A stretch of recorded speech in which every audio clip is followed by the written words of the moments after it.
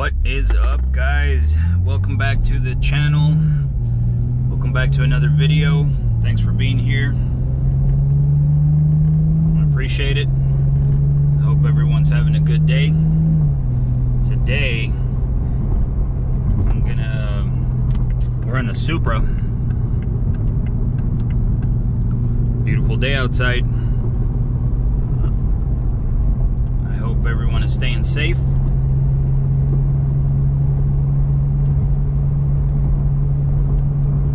Gonna show you guys today a modification that uh, I did on this car. You hear those pops, huh? I know you hear it, I hear it. It's all good. Yeah, there you go. Windows up, you can still hear it. Sounds good. Um, I did something to this car um, about a week ago, and uh, the modification is complete and installed. The weather is nice, so I can show you guys exactly what uh, that modification is today. I am gonna make a bold statement here, and I'm gonna get crucified for it. But um, you ready? Here it comes. It's pretty bold.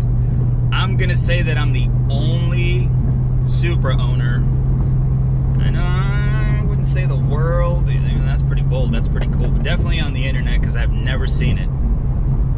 That has this modification done to their Supra. It's so simple, so simple, but it changes the car completely.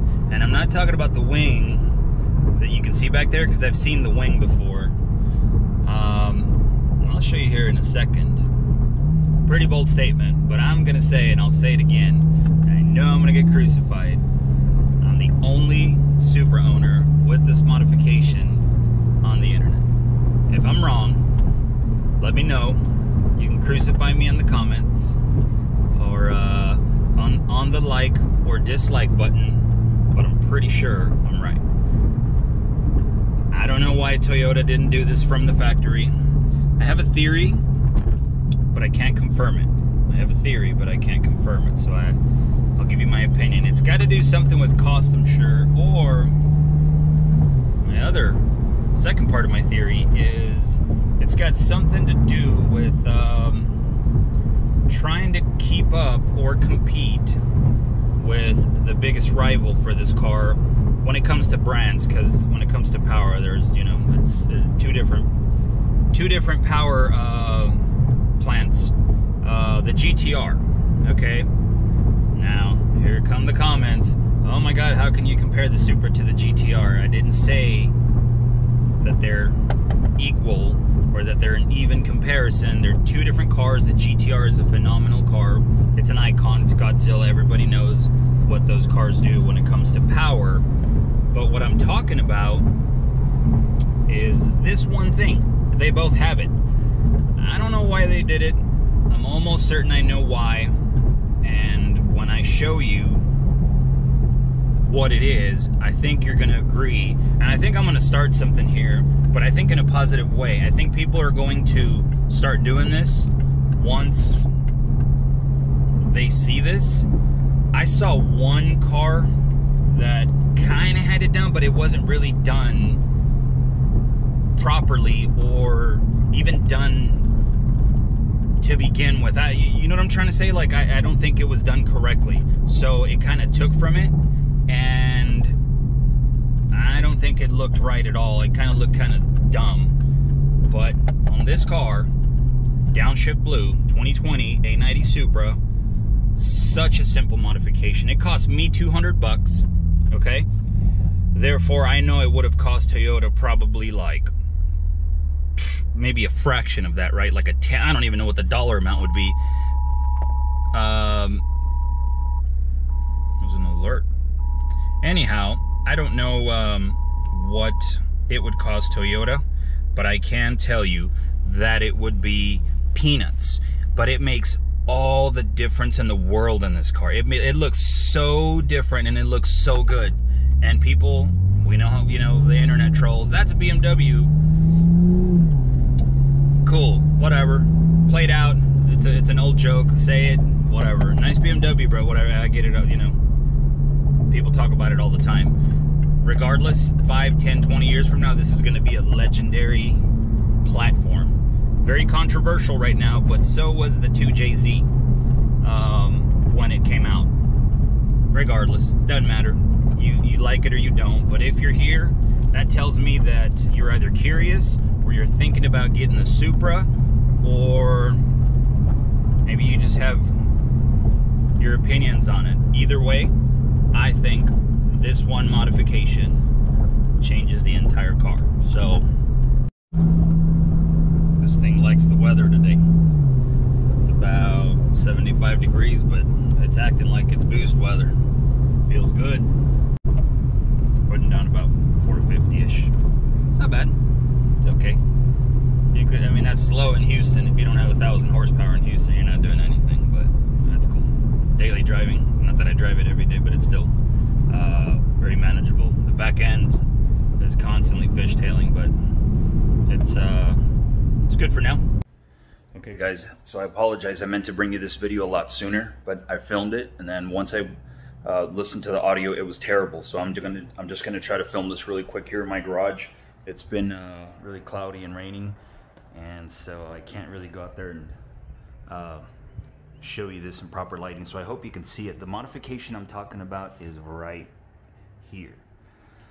So I don't know why Toyota did this, just like I covered in the first part of the video, but um, they kind of did this in black. It's like a black plastic and it's like a gloss kind of material uh, or finish on it, I'm sorry. And I don't know why they did it. I think they did it once I took it apart and it's super simple to take off, but that's not what this video is about. The modification is the color matching.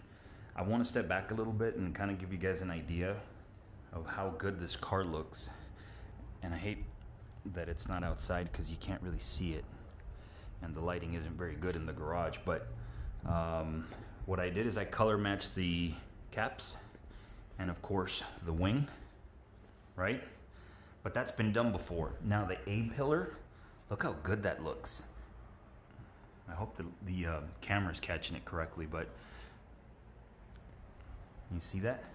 So it was color matched at a shop here and like I said earlier in the video like it cost me the whole thing was 500 bucks right? But this part alone if i was to do it or not because i was kind of like i couldn't make up my mind if i wanted to do that uh, to color match that part because i was afraid it wasn't to look right but look how good this looks.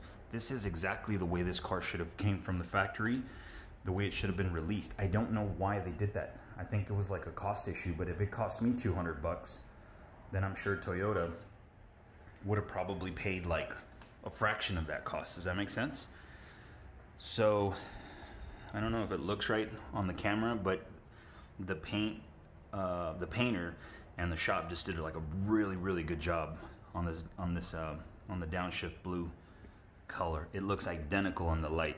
Right here may not look right because the, this, the reflection's kind of not correct, but um, anyways, this is the only car I've seen.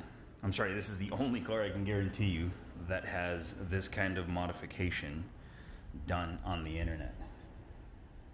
So it looks really, really good. Now the wing, like I said, it's been done before. I think, uh, I don't even know if I'm saying that correctly, but I think it's like Ekanoo Racing over in like Dubai.